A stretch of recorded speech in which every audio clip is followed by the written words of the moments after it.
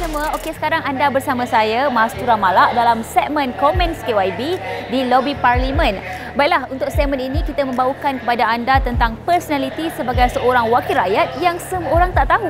Jadi setiap episod kami di Tema Ai akan membawakan seorang wakil rakyat untuk ditanyakan soalan spontan. Sebelum itu, jangan lupa follow dan share IG dan Facebook kami dan juga jangan lupa subscribe di YouTube kami, The Malaysian Insight. Three things describe about you. Wow. Macam mana nak explain tu? Nak explain diri sendiri. Uh, sederhana. Serius. Hardworking.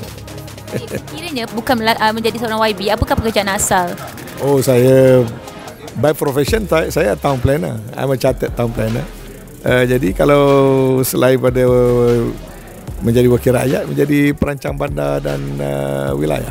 Okey, nasi lemak ke roti canai? Sebab orang Kelantan mesti makan nasi.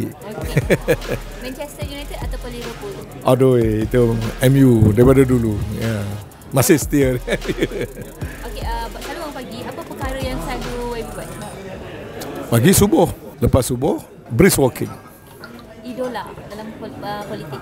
Tak ada in particular. Tak ada. Ya. Adakah minat menyanyi? Minat mendengar tapi tak boleh menyanyi.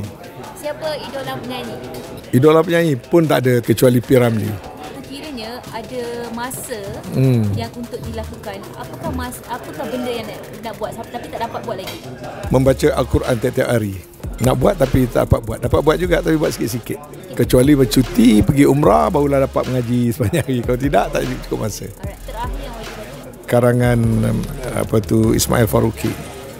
Tajuk Understanding Islam.